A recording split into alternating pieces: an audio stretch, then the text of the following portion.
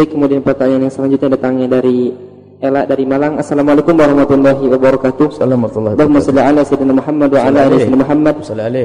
Buya maaf mau bertanya bagaimana jika kita mendapat bingkisan atau hadiah dari teman kita yang merayakan Valentine Day misalnya coklat atau sesuatu yang biasanya bernuansa warna pink di tanggal perayaan tersebut lalu bagaimana pula hukum teman-teman saya yang ikut-ikutan merayakan Valentine Day Buya terima kasih baik yang pertama adalah kepada anak-anakku semua adik-adikku semuanya kalau bapak ibu yang tidak ada sebenarnya Valentine urusan anak-anak muda karena terbius dengan kalimat hari kasih sayang sedunia. Anda tidak perlu ikuti kata wahai anak-anakku semuanya. Kasih sayang yang diajarkan baginda Nabi ada kasih sayang kita adalah sambung dengan Nabi.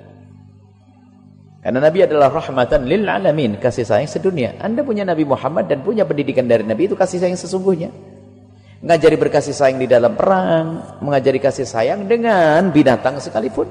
Itu Nabi sallallahu alaihi wasallam.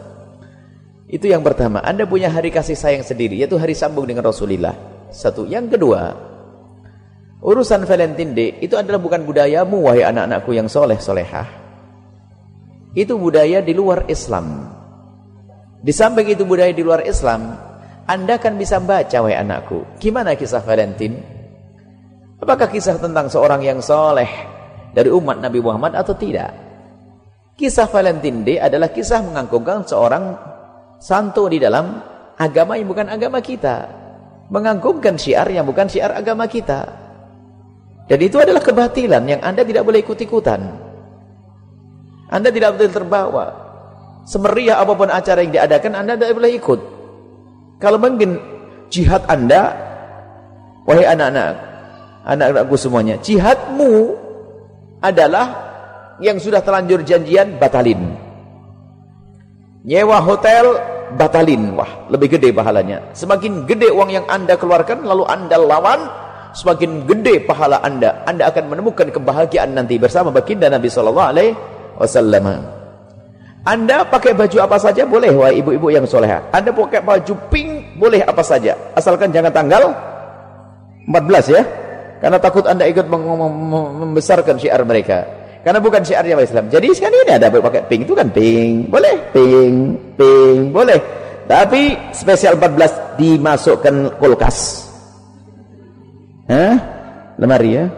Tidak boleh. Jadi anak-anakku semuanya, adapun masalah Valentine bisa dicari di penjelasan kami tentang Valentine panjang lebar sejarah Valentine sudah ada. Jadi itu bukan hari Anda.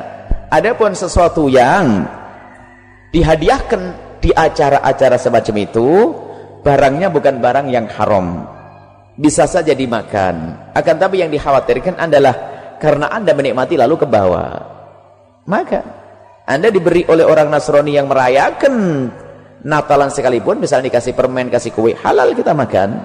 Bukan suatu yang haram. Ini bukan. Jadi secara berbeda. Tapi kalau dalam pemberiannya itu dalam irama membesarkan itu dosa dosa niatnya tadi.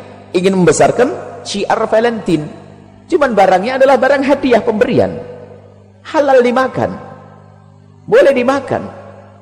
Dan nggak ada masalah kalau dimakan. Asalkan hatimu kuat tidak ikut-ikutan esok hari dan harus kamu tampakkan tanda cintamu karena kamu sudah diberi hadiah maka kamu nikmati makanan itu tapi balasannya nanti apa nasihati dia agar tahun depan kalau ngasih coklat tidak usah pakai valentinan jadi sebab secara dat adalah haram. Halal dan diberikan dengan sukarela adalah halal. Cuman haramnya adalah jika ada nilai pengagungan kepada syiar maka menjadi haram. Allahu alam bisawab.